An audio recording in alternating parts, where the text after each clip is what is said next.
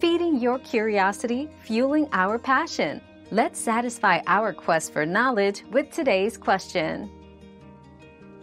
You can start seeing results from cycling for fat loss within a few weeks. Consistent cycling workouts, combined with a healthy diet, usually display noticeable changes in 4 to 6 weeks. Aim for at least 30 minutes of moderate to intense cycling 3 to 5 times a week for optimal results. Our quest for knowledge never ends. Thanks for being part of today's discovery. Subscribe, like, and share to join us on the next one.